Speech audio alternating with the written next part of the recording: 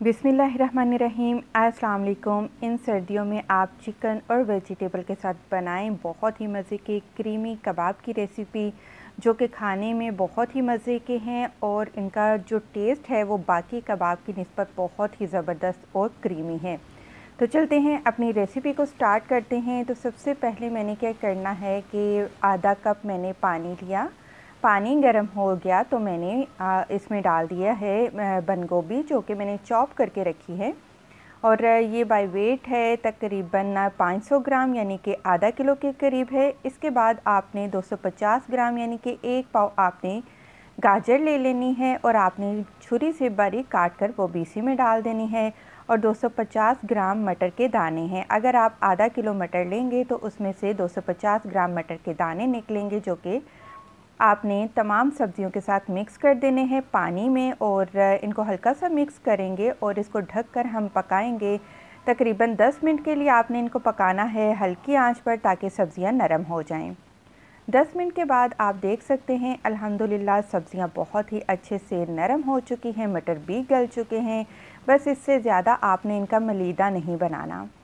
अब आपने क्या करना है कि एक चौथाई कप आपने पैन में तेल डालना है तड़के के लिए। ज़बरदस्त किस्म का हम तड़का लगाएँगे इसमें। एक चाय का चम्मच आपने सफ़ेद ज़ीरा शामिल कर देना है और एक पूरी गट्ठी बारीक चॉप की हुई आपने लहसुन की इसमें शामिल कर देनी है। एक खाने का चम्मच बारीक चॉप किया हुआ आपने अदरक का डाल देना है। इसके बाद आपने तकरीबन 10 पत्ते कड़ी पत्ता के लेने हैं।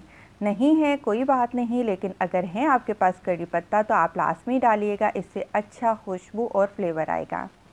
अब आपने वन टेबल स्पून आपने हरी मिर्च का पेस्ट डालना है, जो कि तकरीबन हमारे पास 10 दरमियाने साइज़ की हरी मिर्चें थी, जिनका पेस्ट बनाकर हमने इसमें शामिल कर दिया। मसाले को हमने अच्छा सा भुना, यहाँ तक कि इसमें खुशबू आना शुरू हो गई है। यहाँ पर आपने आधा कप मैदा शामिल कर देना है और मैदे को भी आपने तमाम चीज़ों के साथ रोस्ट कर लेना है। अब यहाँ पर बिल्कुल हल्की आँच पर आप मैदे को भूनेंगी। मैदे को आपने काला नहीं करना, बस इसका जो कलर है हल्का सा चेंज हो जाएगा तो फिर आपने इसमें सारी की सारी बॉयल की हुई सब्ज़ियाँ शामिल कर देनी हैं। तेल इसमें ज़्यादा ऐड मत करिएगा।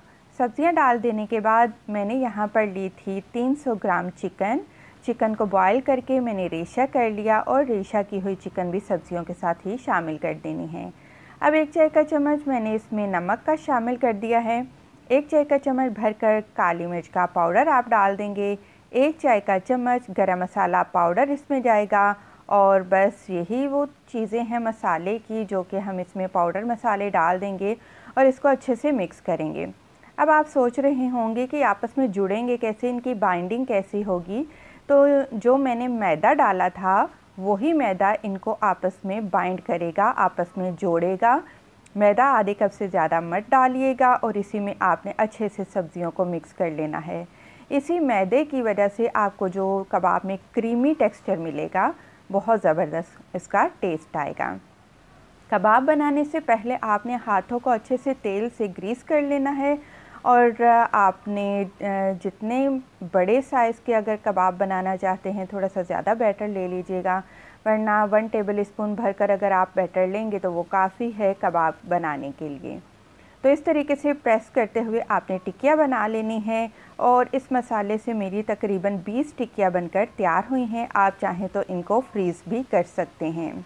अब आपने इनकी कोटिंग करनी है, आपने अंडे से कोटिंग करनी है और अगर आप चाहते हैं इनको क्रिस्पी बनाना तो आप इसके ऊपर ब्रेड क्रम भी लगा सकते हैं या फिर आप सवैयाँ लेकर, बारीक सवैयाँ लेकर उनको बारीक बारीक चूरा करके वो भी लगाकर फ्राई कर सकते हैं।